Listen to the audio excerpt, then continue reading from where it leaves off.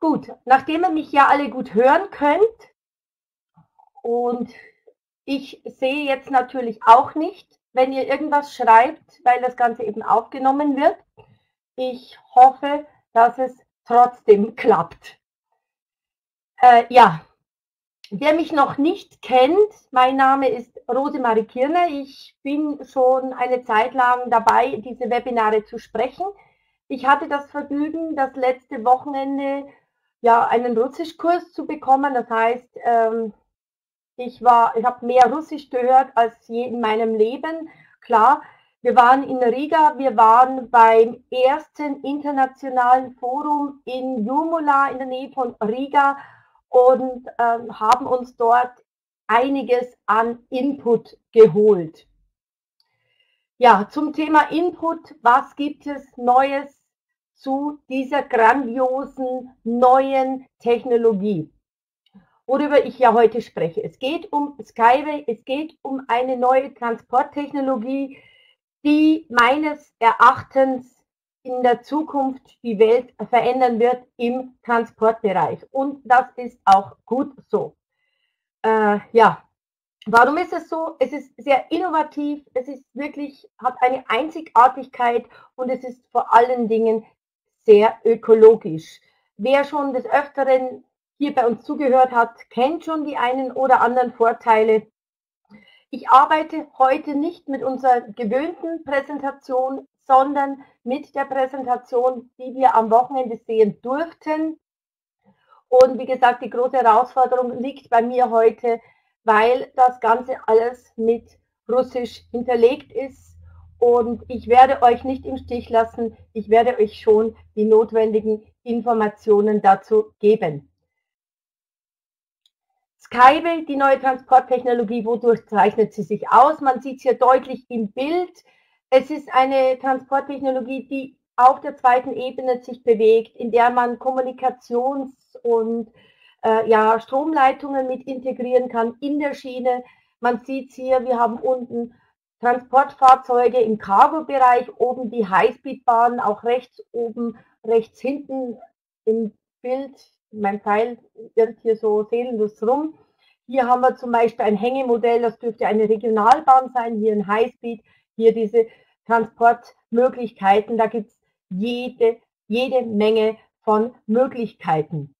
Wer noch nicht so viele Informationen hat wie ich, äh, der wird heute noch staunen. Halt hier sehen wir das, ich sage jetzt mal, das Eingangstor zum Öko-Technopark und das ist auch ganz klar Skyway, die grüne Technologie würde ich sie fast bezeichnen. Hier ganz deutlich in diesem Skyway-Bild dargestellt, auch das grüne Männlein. Ökologie ist das Zauberwort schlechthin bei dieser künftigen innovativen Möglichkeit. Wer ist der Erfinder dieser Transporttechnologie? Natürlich ein ganz besonderer Mensch, Anatoly Junitsky, der diese Zähigkeit und diese Energie aufbrachte und bereits seit fast 40 Jahren an dieser Technologie arbeitet. Ein Idealist, ein Visionär, äh, ein äh, Mann, der den Menschen die Erde zurückgeben will. Er hat sie schon von oben gesehen. Er hat gesagt, die Erde ist so schön. Ich möchte, dass sie erhalten bleibt und nicht, was in den letzten 100 Jahren passiert ist, die Erde wurde durch die ganze Industrialisierung und was alles so passiert ist, zerstört. Er möchte, dass die Erde wieder gesundet, dass sie wieder ökologisch aufbereitet wird. Und seine Vision war eigentlich ursprünglich, er kommt aus der Astronautik, das werden wir jetzt hier gleich sehen. Er kommt aus äh, äh, dem Kosmos, aus, dieser, aus diesem Bereich. Und seine Vision war eigentlich der Spaceway. Spaceway heißt, er wollte die Transportwege in das All hinauslegen. Wir werden das gleich nochmal bildlich sehen, wie er sich vorstellt. Und die Vorstufe dazu ist Skyway. Skyway ist im Prinzip auf, We auf dem Weg zu seiner Vision von Spaceway. Ob er das noch schafft, sei jetzt mal dahingestellt, aber seine Vision ist es. So, wer ist Anatoly Junitsky? Anatoly Junitsky ist erstens mal natürlich der Erfinder dieser Technologie. Weiter hat er insgesamt schon 140 äh, Arbeiten, technische Arbeiten ähm, geschrieben, wovon viele, also 30 genau, äh, umgesetzt wurden in der ehemaligen äh, UdSSR mit einem wirtschaftlichen Nutzen von 100 Millionen Rubel. Dann hat er weitere 200 äh, wissenschaftliche Arbeiten geschrieben. Er hat, äh, ich glaube, 18 wissenschaftliche Monographien geschrieben. Das sind wissenschaftliche Arbeiten mit einer, die sich mit einem Gegenstand befassen. Also ihr seht schon, wird schon heftig, das Ganze im Kopf zu haben. Und äh, er ist natürlich auch Mitglied der Astronautik seit 1986 und auch noch der wissenschaftlichen Gremien und zusätzlich natürlich der Erfinder dieser grandiosen Technologie. Aber wie gesagt, Unitsky ist vor allen Dingen auch ein Visionär und das sieht man hier in diesem Buch. Das Bild spricht mehr als tausend Worte. Nämlich hier, so stellt er sich das vor. Also entweder will er da mit dem Magnetfeld arbeiten, das sich rund um die Erde bewegt. Ich weiß es nicht. Also ich bin kein Wissenschaftler. Ich bin damit etwas überfragt. Fakt ist, Skyway ist wirklich nur die Vorstufe in Bezug auf seine Visionen. Und er hat 15 Jahre gekämpft, um die Anerkennung als innovative, umsetzbare Technologie vor dem russischen äh, Verkehrsministerium durchzusetzen. Hier sehen wir ein paar seiner Fahrzeuge. Äh, links im Bild oben die Highspeedbahn, die wir ja eben schon gesehen haben, die mit einer Geschwindigkeit bis zu 500 Stundenkilometer unterwegs ist auf zwei äh, nebeneinander liegenden Schienen, diesen speziellen String, den wir gleich noch näher sehen. Rechts oben, wo jetzt mein Pfeil ist, der wieder so mutterlos hier rumirrt, da ist äh, ein Hängemodell zum Beispiel von der Regionalbahn, wo es auch in der Stadt aussehen kann. Es gibt hier ja alle möglichen Variationen. Links unten haben wir das Cargo-System als Hochbahn. Man sieht hier schon die Räder, wie glatt die aufliegen hier auf der Schiene. Das Ganze hat keine Fenster. Es gibt auch im Cargo-Bereich äh, sehr viele Varianten, werden wir auch gleich noch ein bisschen was dazu hören. Und das kleine Unibike, also dieses Unibike hat uns fast umgeworfen, was damit, es mag jetzt mein Pfeil nicht mehr, okay, ich lasse es euch jetzt so. Rechts unten das Unibike gibt es ja in Variationen von 1 bis 5 Personen mit und ohne Tretemöglichkeit, das heißt mit und ohne Fitnessprogramm. Ein Zweiersitzer war ja in Berlin, werden wir noch sehen dann. Dieses Unibike hat sehr viel Aufsehen ge gesorgt am Wochenende, nämlich, ich habe immer gedacht, das ist so ein Spaßmodell. Aber nein, das Unibike das stellt man sich vor, wird das Auto das, äh, des neuen Jahrzehnts, des neuen Jahrhunderts, sage ich jetzt mal, die neue die Vision, wie wir uns in Zukunft ökologisch vorwärts bewegen, nicht mit dem Auto, das wird es wahrscheinlich weiterhin geben, sondern auf der zweiten Ebene mit dem Unibike. Wie das dann aussieht, erkläre ich dann etwas später nochmal. So, hier nochmal die Highspeedbahn, wie gesagt, mit bis zu 500 Stundenkilometer, bis 10.000 Kilometer kann sie zurücklegen. Und bei, das ist auch hochinteressant, bei einer Geschwindigkeit von 450 Stundenkilometer und 100 Personenkilometern bräuchte man bei Elektronik 9,2 Kilowatt, ist gar nichts. Im Vergleich würde man das Luft mit Luftreifen machen, sehen wir später noch, bräuchte man wesentlich mehr, nämlich 1100 Kilowatt und bei Dieselmotoren auch ganz beachtlich 0,7 bis 0,9 Liter Diesel würde man das mit Dieselmotor betreiben, was auch möglich ist. Ja, man kann alles einbauen, alle möglichen vorhandenen Technologien. Und wie man hier im Bild schon sehen kann, das ist natürlich die Verbindung von Großstädten, großen Metropolen von A nach B. Und hier wäre normalerweise ein schönes Video, wie das aussieht, wie es sich fortbewegt. Man kann hier einen Bus nach den anderen fahren lassen. Also auch hier keine Grenzen mit, wenn es sein muss, alle zwei Sekunden. Das Ganze wird über Radar geregelt. Es gibt ja hier zahlreiche Möglichkeiten, die wir jetzt schon kennen. Radar äh, und ähm, äh, Laser, keine Ahnung, wie das Ganze gemessen wird, alles brauchen wir auch nicht zu wissen. Fakt ist, das Ganze ist nicht gesteuert durch Menschen, sondern alles computergesteuert. Und dadurch ist dieser äh, menschliche Faktor schon mal ausgeschlossen als Risikofaktor. Das Video geht leider nicht hier in der Präsentation, das geht nur in Live-Präsentationen. So, hier haben wir verschiedene Möglichkeiten dieser Bahnen, wie sie im Regionalbereich eingesetzt werden. Überall sieht man schon diese ergonomische Form, diese äh, Aerodynamik, die man damit verbindet.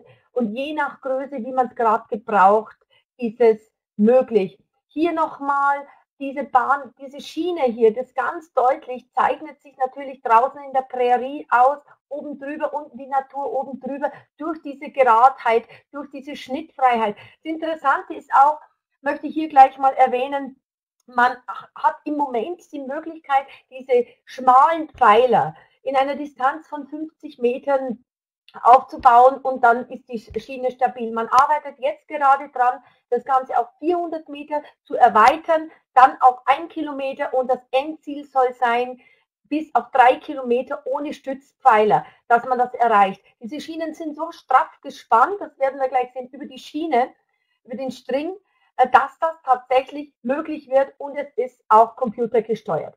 Hier auch ein paar Beispiele, wie es in der Realität aussehen kann. Hier, wo mein Pfeil sich bewegt, ist es zum Beispiel über die Flüsse drüber, ohne dass man äh, schwere, äh, kostspielige Brücken bauen muss. Man kann Hängemodell, man kann Hochbahnen fahren lassen, alles gleichzeitig. Auch hier ähm, kann man das bauen. Das könnte jetzt ein Fluss sein, das könnte aber auch gut ein Überschwemmungsbereich sein, der hier gar keine Rolle spielt oder hier in die Natur integriert. Hier haben wir einen Ankerpfeiler, die sind immer wieder nötig um eine größere Stabilität auf höhere Distanzen herzustellen. Die werden meistens dann als Umschlagplätze genutzt, das heißt als Bahnhöfe, Zusteigemöglichkeiten, wie ganz deutlich zu sehen, eben unten die Hängemodelle, oben die Schienen und so weiter. Ich gehe heute nicht so in die Details, hier auch wieder als Hängemodell. Unten, das kennen wir, wer schon die Videos gesehen hat, kann ich leider hier nicht zeigen, aber denke ich, ist auch nicht so wichtig.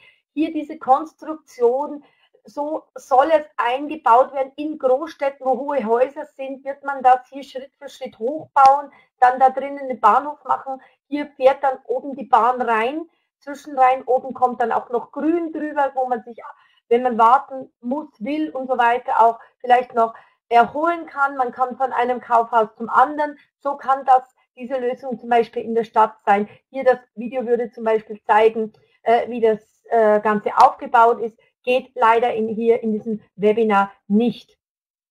Hier die verschiedenen äh, Stadtfahrzeuge und hier sehen wir schon den Begriff Unicar. Unicar heißt nichts anderes als Auto. Also das moderne Auto. Ja? Und zum modernen Auto gehört eben das Unibike bis zum Unicar. Und hier sieht man eben schon, sind hier ähm, mehrere Personen möglich.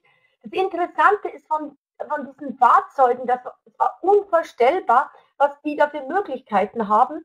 Die bauen da eine Elektronik ein, das heißt, man kann dort mit Internet arbeiten, man kann sich, wenn man so ein Unicar hat, ähm, direkt ein Büro einbauen mit Monitoren, man kann sich Scanner einbauen lassen, die einen den Blutdruck messen, die ein, was weiß ich, äh, äh, die ganz die ganze menschliche Technologie, sage ich jetzt mal, durchchecken, ist irgendwas nicht in Ordnung, wird das Blitz übers Internet weitergeleitet an den Arzt und so weiter, der sagt, hey, ähm, da stimmt irgendwas nicht, wir brauchen nicht mal mehr zum Arzt gehen. All das hat man schon in der Idee integriert, all das wird ins Unibike oder in den kleinen Unicar eingebaut, bis zu fünf Personen.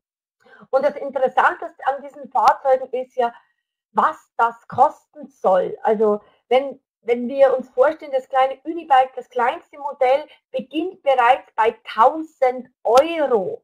Also äh, billig, so billig können wir uns ja nicht mal ein Moped kaum kaufen. Also sagenhaft, was da möglich ist. Hier übrigens auch ein äh, Gelenk, äh, ja, Regionalfahrzeug, würde ich sagen, mit bis zu 168 Personen, die hier äh, fassungsvermögend sind. Also auch als Hängemodell äh, hier noch ein paar Bilder dazu, wie das dann in der Realität aussehen kann. Ganz besonders ist hier interessant. Äh, das Bild hier kennen wir ja sehr gut. Also ich würde mich lieber hier oben reinsetzen in dieses Gelenkfahrzeug und äh, würde da gemütlich mein Buch dabei lesen oder Musik hören oder was weiß ich. als hier unten im Stau zu stehen und mich anzusprengen, wenn ich von der Arbeit heim muss. Und das Interessante ist dadurch, dass das Ganze ja alles computergesteuert ist, auch beim Unibike, ich brauche ja nicht steuern. Ich stelle einfach meinen Monitor ein, wo will ich hin und das Ganze fährt von alleine. Komme ich gleich nochmal dazu. Hier eine weitere Möglichkeit, wie die Bahnhöfe aussehen können. Oder hier, das haben wir schon gesehen, hier als Rundell. Das heißt, hier wird reingefahren rundrum und dann wieder außen raus. Oben eben diese ökologische Möglichkeit. Wir, kann, wir können hier spazieren gehen, bis der nächste kommt. Hier ein typisches Kurvenelement, wie es eingebaut werden wird. Also ich finde alles irgendwo sehr ansehnlich, sehr angepasst, einfach für meinen Begriff wunderschön zu, zu der Thematik, dass es auch uns diesen Lebensraum wirklich wieder ermöglicht. Hier auch nochmal Bilder, wie es aussehen könnte, Hoch- und Tiefbahn. Interessante ist ja eben, wir können nicht nur unten fahren, wir können, hier haben ein Hängemodell, ein reines Hängemodell.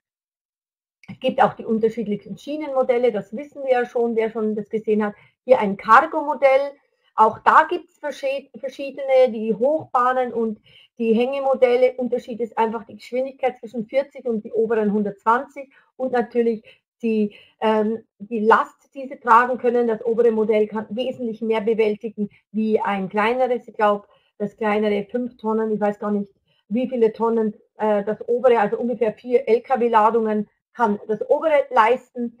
Was kann man damit transportieren? Natürlich Stückgut, Schüttgut, äh, Kartons, alles, was man sich einfach vorstellen kann, aber natürlich auch Erdöl, Erdgas, Flüssigkeit, Milch, Wasser, einfach alles, was im Bereich transportiert werden muss, außer dem Menschen.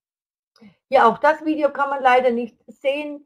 Äh, das ist ein Modell hier unten mit Anhängen, also auch äh, da gibt es wirklich keine Grenzen. Das ist alles sowas von durchdacht. Hier sieht man schon im Bild ganz oben, wie das aneinandergereiht aussehen könnte. Unten könnte man rein theoretisch auch noch eben Hängemodelle mitfahren lassen. Wie gesagt, der Unterschied liegt lediglich in der Geschwindigkeit. Man sieht hier unten das Reh oder ein Känguru, was es hier ist. Das ist ein Känguru eher, würde ich sagen. Hier die Vögel, alles kann sich frei bewegen. Wer jetzt meint, oh Gott, die armen Vögel, die setzen sich da drauf, kein Problem. Die merken das schon, wenn es eine kleine Erschütterung gibt, dann sind die weg. Also auch hier passiert denen nichts. Es ist an alles gedacht, das kann ich mir typisch vorstellen. Jetzt in Australien, wo man weitläufige Ländereien hat, da ist es natürlich die gigantische Möglichkeit. Hier typisch wieder für Australien äh, die Herausforderung, die die dort haben, das werde ich dann noch der Karte zeigen. Die haben immer wieder zu kämpfen mit schlechten Wegen. Auch hier die Schiene unten ist ein ganz typisches Beispiel. Äh, teure Schienen werden gebaut, das Ganze wird durch Überschwemmungen unterspült. Es ist nicht mehr funktionsfähig, muss wieder äh, erneuert werden. Oder hier haben wir auch die Thematik, das Ganze ist unterspült, wäre da eine Straße, könnten diese Fahrzeuge sich nicht mehr vorwärts bewegen. Der Schiene macht das gar nichts aus, sie ist hier fest verankert, da fährt der Zug oben drüber, egal welches Wetter, egal ob es regnet, ob es schneit, ob es gefriert, spielt überhaupt keine Rolle. Und das ist gerade in Australien ein ganz großes Thema, hat uns Rothug erzählt. Hier haben wir wieder die einzelnen Möglichkeiten. Interessant ist auch hier diese Beladung hier unten von oben der Hochbahnen. Da kann man in sechs Sekunden eine Tonne während des Fahrens beladen. Das geht rucki zucki.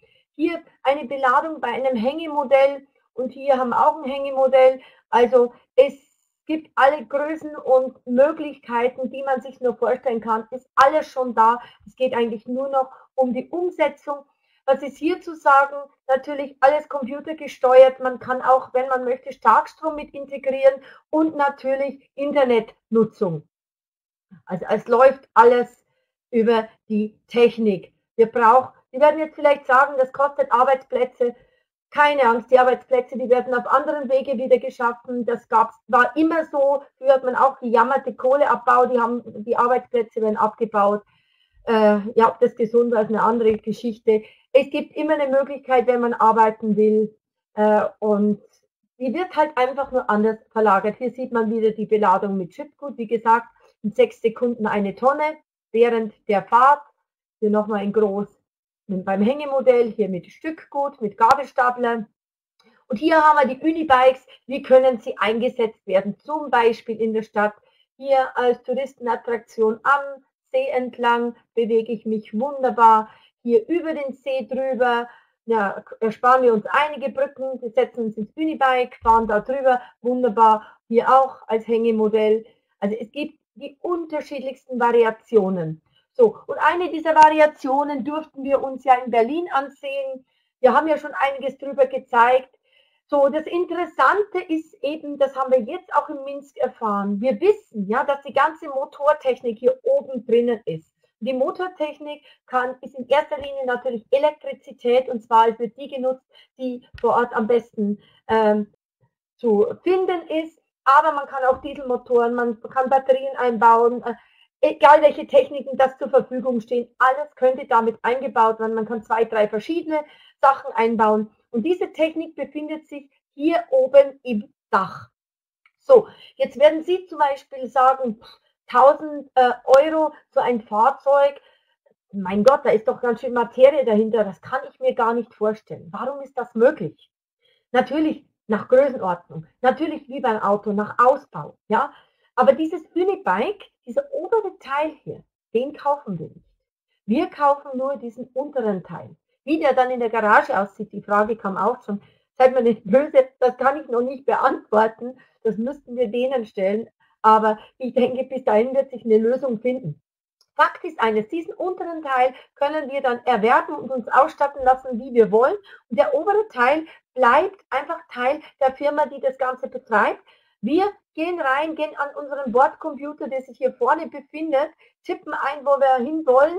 Dann kommt dieses obere Teil gesaust, hängt uns an, wir fahren durch die Gegend, wie uns das gerade, Spaß macht, je nach Bedarf. Denn sind wir doch mal ehrlich, also wenn ich sehe, ich habe zwei Autos vor der Tür stehen, ich brauche sie ab und zu, weil mein Mann natürlich auch berufstätig ist, ich auch mal unterwegs bin, brauchen wir zwei. Ich lebe hier in der Pampa, aber im Grunde steht mein Auto die meiste Zeit. Wenn ich das jetzt hier so nutzen könnte, wäre natürlich gigantisch. Ja? Und das ist eine tolle Sache. Ich rufe an, mein Oberteil kommt angesaust, ich fahre mit ihm durch die Gegend. Und so wird das in der Zukunft aussehen. Hier sehen wir auch nochmal hier diesen ergonomischen Sitz. Übrigens hier, hier Barbarin, das ist auch unsere Ablein mit ihrem Mann. Äh, hier der Michael wieder, unser Pressesprecher. Und dieses Unibike, wie gesagt, das wird das Auto der Zukunft werden, je nach Größe. Das Besondere, was ich noch daran so äh, toll fand, mir, was mir bewusst geworden ist erst, wie ich dann im Flugzeug nach Hause geflogen bin, dieses Unibike ermöglicht es den Menschen, die jetzt schon ein gewisses Alter haben, die im Straßenverkehr sich schon unsicher fühlen oder vielleicht schon Unfälle bauen, weil sie nicht mehr so konzentriert sind, aber im gewissen Alter, die schon Angst haben, dass man ihnen den Führerschein deshalb nimmt und ihnen damit die Mobilität nimmt. Mit dem Unibike spielt das keine Rolle. Ich, die brauchen keinen Führerschein. Ich gebe in die Tastatur oben ein, wo ich hin will und das fährt mich hin. Ich brauche es nicht selbst steuern. Das ist alles geregelt. Der Bordcomputer macht das alles alleine. Bin ich jetzt zum Beispiel im Büro und mache mich auf den Weg zum Büro, na gut, ich bin ganz schnell, innerhalb von sechs Minuten bin ich von einem Stadtteil zum anderen, also durch die Geschwindigkeit schon. Viel äh, machen brauche ich da nicht, aber bin ich länger unterwegs, kann ich meine Akten sortieren, ich kann mich einarbeiten auf mein, ähm, was weiß ich, Webinar, auf meine äh, Präsentation, was ich gerade habe, vorbereiten, auf meine Besprechung. Ich muss ja das Auto nicht selbst steuern, ich brauche auch keinen Chauffeur. Das macht alles das Unibike oder wenn es ein größeres Modell ist, vielleicht das kleine Unibus selbst. Ich kann mir das einfach so richten lassen, wie ich es will. Das Faszinierendste daran ist ja auch, äh, wer es in Facebook gesehen hat, es war ja einer beim Konstruktionsbüro bei äh, Unitski, nämlich der stärkste Mann der Slowakei, nämlich Adrian Koromotski, der Vize-Weltmeister im Bodybuilding 2015, der ist so fasziniert von dieser Technologie, dass er sogar sein Training unterbrochen hat, das er äh, derzeit macht, um am 25. November in Belgien an der Weltmeisterschaft teilzunehmen, weil er möchte dieses Unibike, er ist auch Trainer und äh, Erfinder von Trainingsprogrammen, er möchte dieses Unibike, stellt er sich vor, das zu nutzen, als Trainingscenter umzubauen, dass es die modernen mobilen Fitnesscenter sind. sodass ich nicht unterwegs bin, irgendwo hin muss und mein äh, Fitnesscenter, sondern ich bin unterwegs, trainiere in meinem Unibike, weil ich ja alles an Bord habe. Und wenn ich dann dort bin, habe ich mein Training absolviert, ich verliere keine Zeit. Das ist seine Vision, das heißt, sich im Unibike fit zu machen und in Form zu bringen, was ja in der heutigen Zeit nicht äh, unwesentlich ist. Hier nochmal diese spezielle Stringschiene. Diese String besteht ja aus verschiedenen Stahlsträngen, die so straff gespannt sind, dass sie einfach diese Härte erreichen, dass man eben, wie gesagt, bei Distanzen bis zu drei Kilometern das Ganze stabil halten möchte in Zukunft. Daran arbeitet man. Umgeben ist dieser spezielle String eben von dem Befestigungselement und hier von der Schiene, von dem Schienengehäuse, das hier seitlich dann verbunden wird mit dem Befestigungselement. Hier dieser Stahlbeton oder dieser Spezialbeton, hier wo man eben auch dann die Kommunikation einbauen kann und hier eben wieder diese Stahlkopfschiene. Hier die einzelnen verschiedenen Möglichkeiten, je nach Gelände. Hier haben wir eben diese äh, Highspeed-Strecken, diese weiten Strecken, die natürlich etwas stabiler sein müssen. Hier kann man auch bis zu 500 Stundenkilometer zurücklegen und die ganzen Technologien einbauen. Hier Aufhängung und eben hier diese Schiene, wo man mit der Hochbahn fährt. Hier diese halbstarre Konstruktion zur Hängebrückennutzung kommen wir gleich noch dazu. Und hier diese Seilbahnmäßige, wahrscheinlich im Gebirge äh, etwas weniger äh, stabilisierte, äh, diese flexible Lösung. Hier haben wir eben auch diese Formel, die das deutlich macht, 9,2 Kilowatt bei 4000, äh, bei 5000 Kilogramm bei 450 Stundenkilometern und im Vergleich zur Luftreife, sprich wie beim LKW, würde man 1100 Kilowatt benötigen. Kennen ja einige so. Hier, ähm, das ist auch ganz interessant, die ähm, äh, wie, soll ich sagen, die Aerodynamik dieser Fahrzeuge. Auch ein Thema, das immer wieder angesprochen wird, auch wegen dem Lärm und so weiter. Diese Aerodynamik ist einzigartig bei der Skyway-Bahn. Und zwar, wenn man jetzt äh, Ferrari nimmt oder diese, diese Rennautos, Formel 1 Fahrzeuge, die erreichen gerade mal, ich sage jetzt den Windwiderstand von 0,3 bis 0,4 konnte man das Ganze runterdrücken, diesen Widerstandsrechenfaktor. Äh, so, bei der Bahn, die jetzt sehr wittenschnittig ist, zum Beispiel ICE-Bahn, hat man einen Faktor von 0,2 im Vergleich. Und hier die, die äh, Skyway-Bahn, weil sie sich eben auf der zweiten Ebene befindet, weil sie keinen Widerstand zwischen Schiene äh, und Zug zu bewältigen hat, sondern fest mit der Schiene verbunden ist, hier keinen Widerstand hat, hat man hier gerade mal diesen Widerstandsfaktor von 0,05. Und genau daran liegt es auch, warum man so wenig Energie braucht. Zusätzlich, das, was wir jetzt nochmal deutliches sehen, hier nochmal diese 0,0, äh, am Rad hier ganz eben, keine Rei kaum Reibung, direkt verbunden mit der Schiene, kein, äh, wie, äh, kein ähm, Platz dazwischen, äh, das in irgendeiner Form stören könnte. Hier dann auch in diesem Spezialrad noch der Motor oder die Elektrizität hier mit integriert. Einzigartig, was die da geschaffen haben. So, hier haben wir nochmal diese Schiene mit diesen, mit diesen okay, war mal wieder etwas zu schnell, mit diesem Sicherheitsrad an der Seite, diesen äh, Anti-Entgleissystem, das das Ganze nochmal um das Zehnfache erhöht. Wir haben ja schon den Vorteil, dass wir uns in der zweiten Ebene bewegen aber natürlich kamen dann auch diejenigen, ja, und was ist, wenn ein Sturm kommt, wenn ein Orkan kommt, was weiß ich alles, würde das Ganze kippen, so dass wir hier unten auf dem Kopf liegen, das heißt um 180 Grad, würde es wegen dieses Anti-Gleissystems auch nicht äh, aus der Bahn fallen, also aus der Schiene fallen. Natürlich wäre es etwas ungemütlich für uns, wenn wir da drinnen sitzen würden, aber wir würden nicht abstürzen. Also einzigartig, was Unitsky äh, und sein Team da auf die Beine gestellt hat. So, diesen Film können wir wieder nicht sehen. So, hier noch eine wichtige Sache vom Unibike, auch natürlich Unibus, egal was, hier dieses Spezialglas. Dieses Spezialglas, man sieht schon, ist abgedunkelt, äh, ist natürlich auch sehr energieeffizient. Das heißt, wenn es innen warm ist und außen kalt, äh, wird von, durch dieses Spezialglas verhindert, dass die Wärme nach außen geht beziehungsweise die Kälte nach innen. Ist es umgekehrt, ist es außen heiß, wird innen nicht heiß werden, weil auch durch dieses Spezialglas das verhindert wird. Und zusätzlich hat man uns gesagt, wenn man mit 35 Kilogramm einen Hammer da drauf haut, dann kann man das auch nicht zertrümmern. Also alles wirklich einzigartig und durchdacht. Und hier sehen wir ein Stück, äh, wie es im Ökopark sein wird. Hier nämlich dieser Spezialzaun. Dieser Spezialzaun umgibt den Ökopark, den wir uns dann noch etwas ansehen wollen. Hier oben fahren dann die Miniaturfahrzeuge und in diesem Miniaturfahrzeug, man sieht hier im Bild, sind auch die Kameras eingebaut, die das Ganze dann beschützen, die das Ganze aufzeichnen, falls hier jemand Randale machen will, dass man gleich dagegen angehen kann. Hier haben wir die Kurvenelemente, wie sie dann eingebaut äh, werden im Ökopark. Und dieser Ökopark, den werden wir jetzt gleich noch sehen, äh, der wird auch Ende November schon eingeweiht.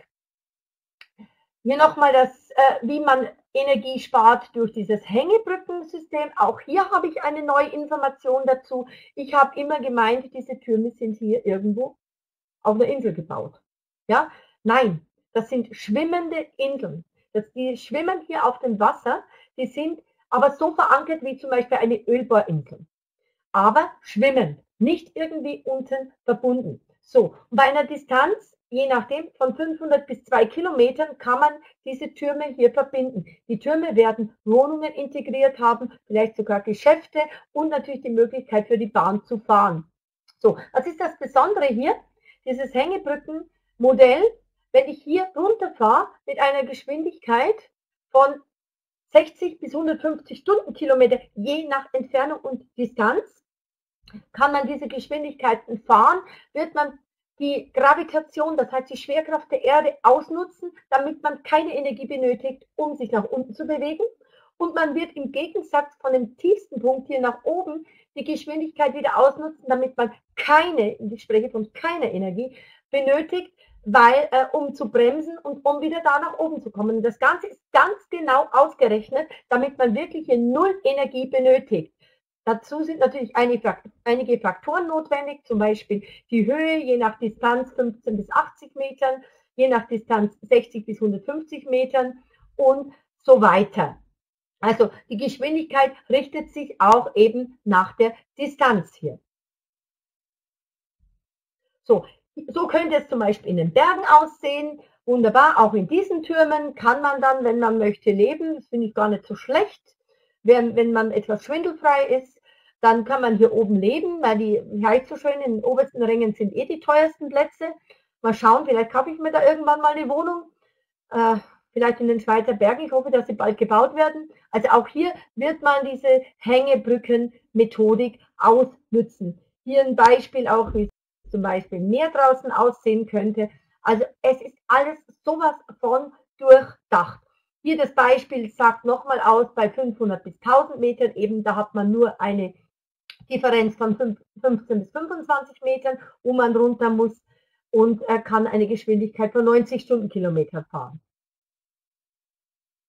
So. Und der Turm, den wir eben gesehen haben in diesen Schweizer Bergen, der würde innen so aussehen. Auch das weiß man schon, stellt man sich schon vor, wie das innen aussieht. Gigantisch, oder? Also ich finde das wirklich grandios, wie viel Fantasie äh, die hatten, welche, wie durchdacht das Ganze schon ist. Und das sind äh, ja, die Urheber, das heißt das Team, das Unitsky in seiner Idee unterstützt. Es sind fast 200 Leute, die im Konstruktionsbüro beschäftigt sind, die ständig hier weiterentwickeln, eben schon, habt ihr heute schon erwähnt, an der Distanz zwischen den Pfeilern, um jetzt die 400 später dann langfristig die 3 Kilometer Distanz zu erreichen. Ständig finden sie was Neues. Hier sind 100, habe ich mir sagen lassen, extreme Spezialisten, äh, die wirklich äh, nicht nur irgendein Ingenieur sind, sondern die wirklich hoch oder höchst qualifiziert sind. Und die sind hier beschäftigt und arbeiten hier wirklich dran, dass das alles ideal funktioniert. Unterstützt wird das Ganze momentan oder Ganze starten wir das Ganze im Moment, das haben wir auch, wer schon dabei war, schon gehört, in Australien. Ich habe hier ein bisschen rumgemalt in der Karte, äh, weil ähm, es ein bisschen schwierig ist, das live zu machen. Dieser Strich hier, das hat keine Bedeutung, das war mein Kunstwerk. Äh, diese Orte hier, ja, heißt nichts anderes. Hier der Bereich, der ist der meistbesiedelste in Australien. Das heißt die Strecke von Melbourne nach Sydney. Ja, hier in diesem Bereich leben fast alle Menschen von Australien, mal von diesen Ureinwohnern hier oben abgesehen. Und hier in diesen Bereichen, wo ich diesen roten Punkt künstlerisch gestaltet habe, bin ich so künstlerisch begabt. Hier befinden sich alle Minen oder Bergwerke, was man sonst noch hat, die die ganzen Rohstoffe aus der Erde holen. Und diese Rohstoffe müssen transportiert werden, und zwar hierhin. So, jetzt haben wir aber die Herausforderung, sehr weitläufig, sehr große Strecken. Und deshalb hat Rod Hook, der australische ehemalige Verkehrsminister und ein wirklich phänomenaler Transportunternehmer, diese Idee für sich genutzt, hat sich überreden lassen und hat gesagt, das ist gigantisch für Australien. Und vor allen Dingen für diesen Bereich, um eben diese Minen hier bestens zu versorgen. Was haben die für eine Herausforderung? Diese hier. Sie müssen natürlich von A nach B, wie wir gesehen haben, das Ganze bewegen. So, das machen Sie derzeit mit solchen Transportmitteln. Riesen-LKWs mit Anhängern dran. So, sagt man, naja, okay, erstens mal ist natürlich eine weite Distanz, sehr viel Zeit, was das Ganze kostet, aber die haben noch eine weit größere Herausforderung, nämlich die schlechten Wege. Die schlechten Wege, wie wir es schon gesehen haben, diese Überschwemmungsgebiete, die haben dann wieder Regenzeiten, äh, die Straßen sind, hier ist sie ja noch geteert, ist sie ja noch recht gut, aber durch die großen Distanzen haben die nicht überall diese optimalen Wegmöglichkeiten. So, jetzt wenn es viel regnet, dann passiert es, dass sie ausgeschwemmt werden, dass die, die Gleise, wie wir es gesehen haben, ausgeschwemmt werden. Und dann ist kein Transport möglich. Das heißt, die Arbeiter, nochmal zurückzugehen, die Arbeiter sind hier und die Minen sind hier. Und die müssen hier von diesen Standorten aus hier hin. So, wenn aber das nicht geht, können die hier nicht arbeiten. Und das könnte man super eben mit Skyway lösen. Das ist das, äh, diese Vision, die natürlich Units gehabt. Abgesehen natürlich von der Integration in den Städten. Auch er sieht, ein Riesen, äh, sieht hier ein Riesenpotenzial, auch hier eine Strecke parallel zur bisherigen Bahnlinie zu bauen. Das so zum Thema Australien ist ja auch eine Tochtergesellschaft, nämlich Skyway Australia, und die wurde eben gegründet von Rod Hook und noch ein paar, äh, die ihn dabei unterstützten. Und das erste Projekt, das geplant ist und auch feststeht, sich aber im Moment etwas verzögert, das ist die Universität in Flinders. Man sieht es hier unten an der Karte. Hier müssen die Studenten von der Uni zum Campus darüber. Das Ganze ist sehr bergig, bis auf 50 Meter Höhe. Und das kann nur eine Skyway-Bahn lösen. Ansonsten müsste man hier weitläufig rum, kostet viel zu viel Zeit und so weiter. Hier hinten kann man erst wieder an die öffentlichen Verkehrsmittel derzeit anschließen. Das könnte man damit super lösen. Das Ganze verzögert sich jetzt aber zwecks Genehmigungsverfahren bis 2018. Warum? Weil man dort jetzt nicht nur eine Bahnstation hinbauen will, hier bei der Uni, sondern ein riesen Parkhaus mit 30 Metern Höhe. Integriert sollen dort werden auch Einkaufsmöglichkeiten für die Studenten und obendrauf auf der Höhe von 30 Metern eben ein Ankerpfeiler, wo einfach dann die Zusteigemöglichkeit ist. Also rauf beim Aufzug, oben rauf, so muss man nur noch 20 Meter Höhe eben bewältigen. Und da wird man wahrscheinlich natürlich, wird eine Strecke sein von einem Kilometer, diese wunderschönen Unibikes nutzen. Also das zum Thema. Das steht schon. Es hängt eigentlich nur an dem Genehmigungsverfahren für das Gebäude und das muss, muss natürlich auch gebaut werden. So, hier haben wir nochmal äh, in Weißrussland, in Minsk, im Ökotechnopark, den 0 Kilometer ähm, Stein. Von dort aus wird alles starten, von dort wird alles weggehen. Wir sehen hier eben äh, die Fachleute, auch Rothug und Unitsky und weiter, der Ingenieur dabei. Oben rechts habe ich auch wieder Rothug äh, mit Unitsky, die zwei, äh, ja, Rothug hat, wie gesagt, Unitsky auch in Berlin äh, bombastisch vertreten. Er ist so ein sympathischer Mensch, wie auch der Michael, unser Pressesprecher. Ich denke, das wird einer der Chefingenieure sein. Und von diesem Punkt aus geht alles auf. Am, am 17. Oktober war eben die Einweihung dieses 0 Kilometer Steines und deshalb hatten wir auch die Preisverlängerung bis zum 20. Die Aurecon, das ist äh, das irgendwie das Unternehmen von Rothuk, so ganz genau weiß ich das jetzt auch nicht, aber er hat eben ein Transportunternehmen und reist jetzt hier überall herum. In Australien ist auch Skype, habe ich mir sagen lassen, schon Gesprächsthema Nummer eins, also in den Medien sehr stark vertreten. Und hier, wer das möchte, kann gerne mal nachgoogeln, was das, wie das ganz genau zusammenhängt. Ich glaube, das sind seine Projekte, die er schon verwirklicht hat. So, und hier haben wir ein Bild, äh, wie das Konstruktionsbüro in Minsk mit Australien über Skype sich unterhält und die Planung durchführt. Also Skype macht ja alles möglich. Hier noch ein Bild von der Inotrans, wo äh, ja Skype für, sehr viel Aufsehen erregt hat, nämlich, ja, man sieht es hier hinten, seht euch mal den Plan an, hier hinten in diesem kleinen Eckchen hat Skyway vertreten und mit Abstand der meistbesuchteste Stand. Und alle anderen waren leer. Hier dieser Riesenstand mit Stühlen und so weiter, war nichts los. Nur hier hinten, hier spielte die Musik. Also unglaublich, was äh, da passiert ist. Hier im Future Mobility Park waren sie auch.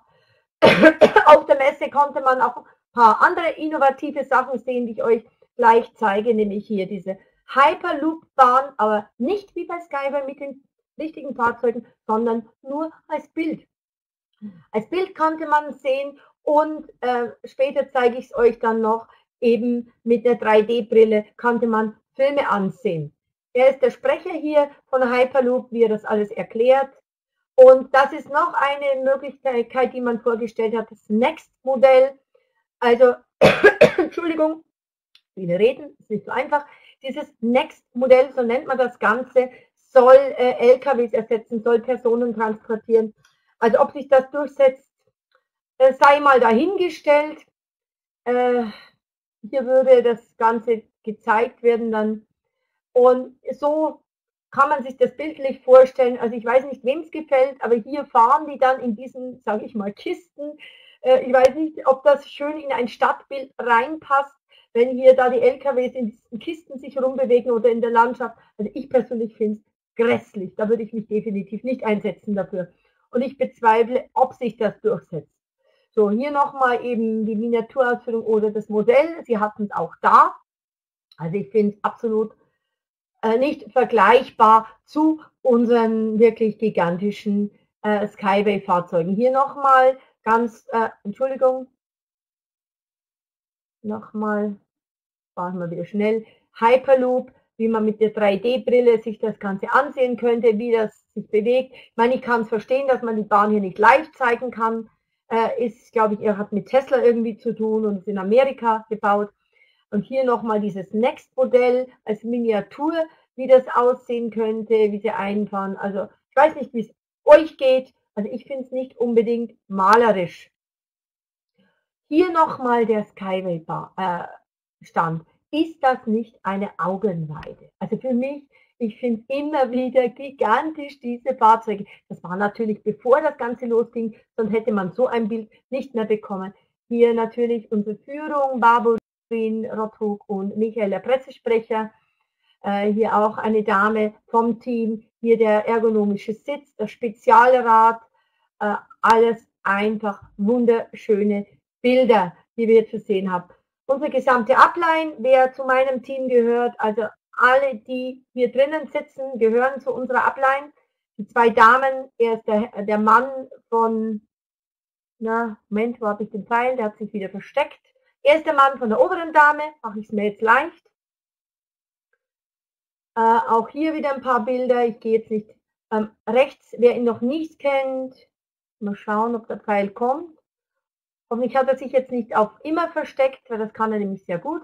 Äh, rechts im Bild unten war auch noch der Mr. Maslow dabei. Ich kann ihn leider nicht zeigen jetzt. Also neben der blonden Dame rechts unten, das ist der Mr. Maslow, äh, unser Ansprechpartner von Skyway Capital. Ein sehr, sehr netter Mann. Ich bin wirklich begeistert von ihm. Ich spreche gern mit ihm. Die Herausforderung war eben jetzt am Wochenende immer schön alles in Englisch und meine Kenntnisse musste ich schon ganz schön wieder ausgraben. Gut, dass Tom perfekt ist. So, hier auch immer Bilder. Es war immer wie ihr seht, der Teufel los. Das war das ständige Bild. So, was sagt dieses Schreiben hier aus? Nichts anderes. Skype war bis zur Inotrans das belächelte Transportsystem. Äh, das Interessante, das habe ich euch ja noch gar nicht gesagt. Äh, oder habe ich schon gesagt? Ich glaube nicht. Am Stand waren zwei Leute von Siemens. Also es waren viele Interessierte, aber diese zwei Leute von Siemens waren sogar zweimal am Stand. Sie konnten es nicht glauben. Sie haben immer wieder gesagt, wo kommt ihr her? Dann sagten sie, aus Weißrussland. Wo kommt ihr her? Was habt ihr hier? Die, die wussten Skyway. Ja, sie wussten natürlich, dass Skyway kommt, aber sie dachten, die werden da irgendwelche Bilder zeigen, irgendwelche Zukunftsvisionen und die werden vielleicht irgendwelche Pappfahrzeuge ihnen zeigen. Aber als sie dann gesehen haben, was die da für Fahrzeuge haben, da waren sie einfach sprachlos, aber auch begeistert. Und diese Siemens-Leute, unter anderem der Vize-Chef, glaube ich, von Siemens, haben auch um Einladung gebeten zur Einweihung am 29. November vom Öko-Technopark, aufgrund eben ihrer Begeisterung.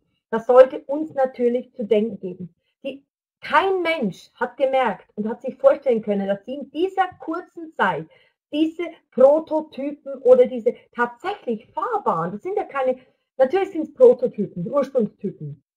Hier, übrigens, das Stadtfahrzeug kostet, äh, glaube ich, jetzt bei der Herstellung, äh, äh, ich weiß jetzt, eine Million und dann soll es ungefähr 100.000 kosten, also in der, in der Menge dann. Die waren so sprachlos, dass das wirklich hier ausgestellt wird. Kein Mensch hat daran geglaubt.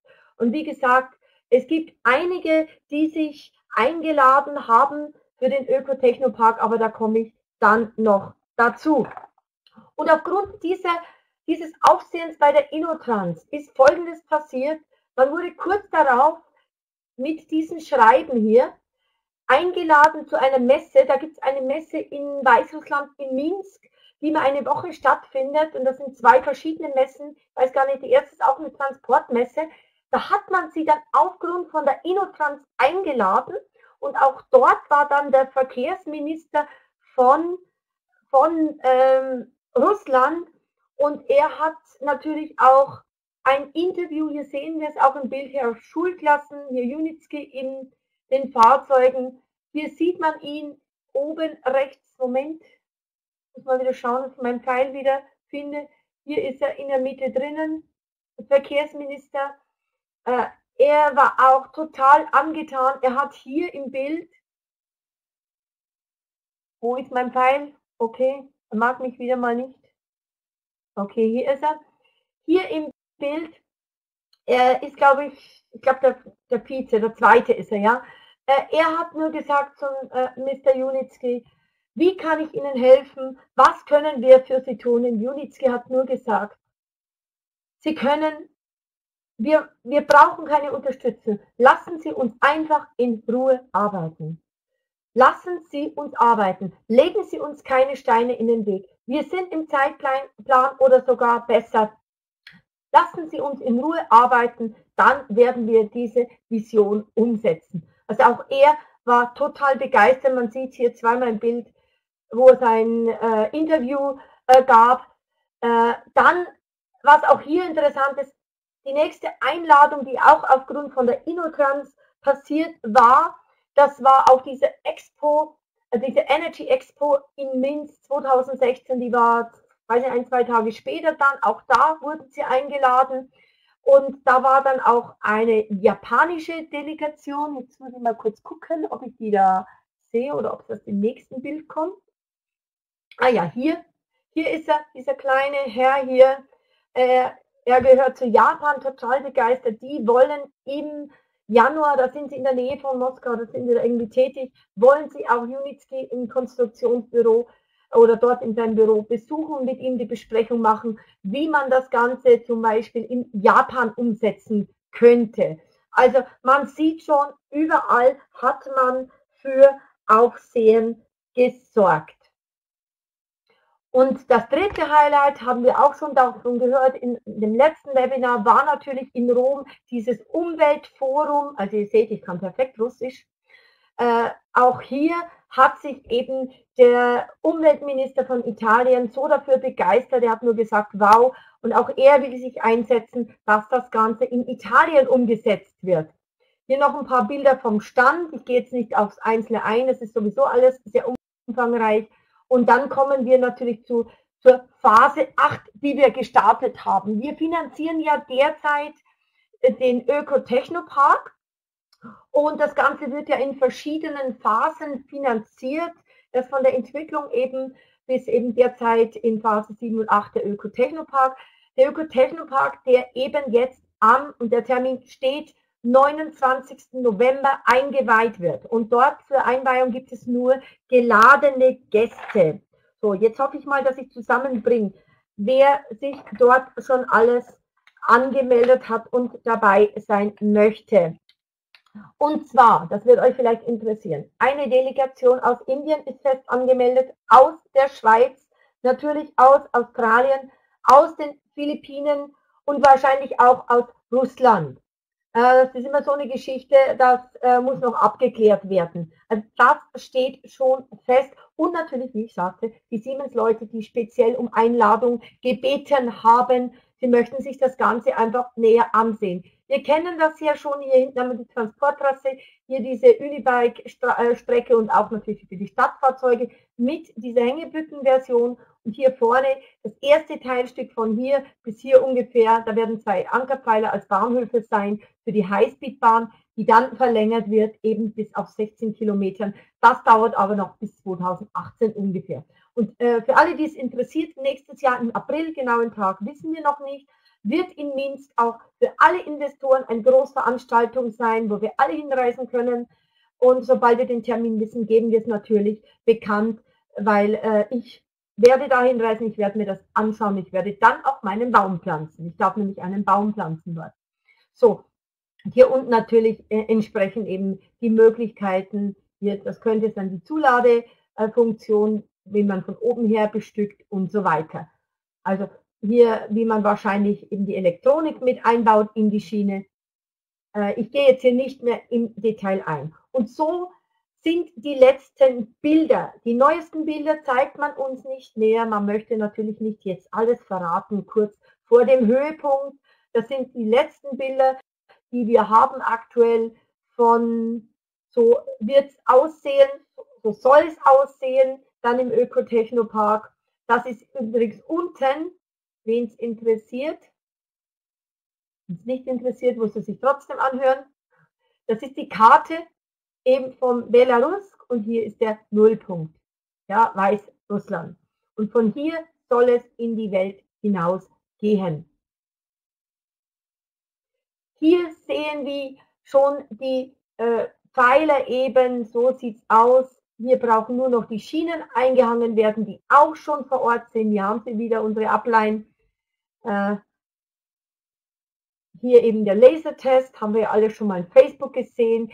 Hier haben wir äh, einen Ankerpfeiler. Hier, das sind, werden spezielle ähm, Fenster, die man benötigt für den Druckausgleich, wenn es interessiert. Hier haben wir natürlich die Schienen, sie produziert werden. Die befinden sich aber mittlerweile nicht mehr hier, sondern schon hier im Ökopark und werden eben hier nach und nach eben aufgesetzt. Hier, das sind die oben rechts, das sind die äh, Unibike-Pfeiler, sieht man alle schon, das sind die stabilen Ankerpfeiler. Ja, man braucht ja immer diese Stabilisatoren. So ist aus der Vogelperspektive. Also man sieht, es geht echt was voran. Und wer jetzt noch dran zweifelt, gibt es diesen Park, den kann ich nicht mehr helfen. Hier haben wir zwei Pfeiler für die weitere Strecke. Hier, diese. Hier Unibike und hier, da wird wahrscheinlich die Highspeedbahn dann drauf kommen.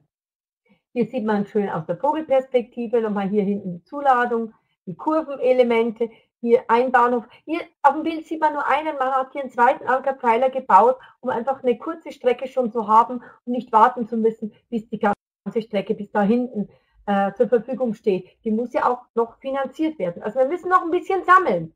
Und wir haben jetzt die Möglichkeit, diese Technologie in die Welt hinauszutragen. Hier umrandet sieht man ja auch wieder diese äh, Pfeiler, wie sie aussehen dort vor Ort. Also wie gesagt, es ist schon wesentlich weiter alles. Und hier, so wird es dann in den Werkstätten ausschauen, wenn diese Fahrzeuge dann fortbewegt werden. Und dieser Highspeed-Bus, der wird 2018 dann auf der Innotrans vorgestellt werden. Äh, man hat schon dort sich angemeldet, das steht schon fest. So könnte es dann mal in der Stadt aussehen.